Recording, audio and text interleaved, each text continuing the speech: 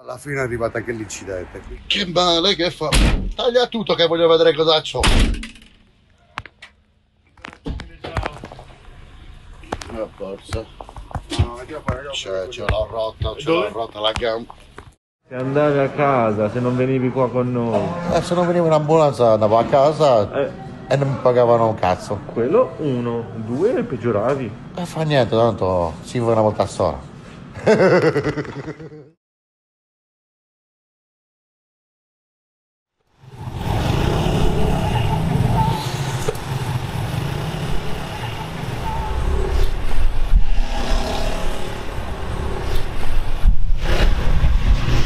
Sono Daniele, ho 41 anni, sono sardo, vivo a Milano da 11 anni e svolgo il lavoro del rider.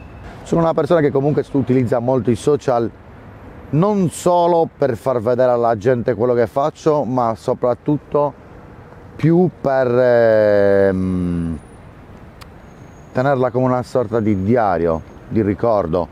Ed essendo stato un videomaker anche, eh, avendo realizzato diversi videoclip, svolgendo questo lavoro mi venne questa brillante idea di documentare tutto quello che succedeva, succedeva durante la mia giornata lavorativa.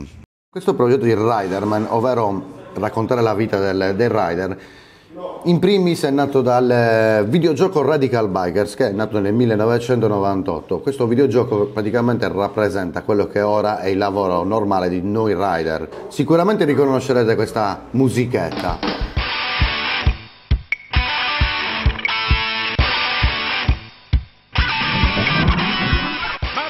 In questo videogioco praticamente il portapizza si sfida, fa delle sfide nel battere il, milo- il minor tempo possibile della consegna, ovvero insieme a un altro che è il computer effettuano delle gare per poter recapitare il cibo a casa del cliente. Oltretutto rappresenta la vita stressante di quello che i rider sono sottoposti a superare o sopportare durante il loro lavoro.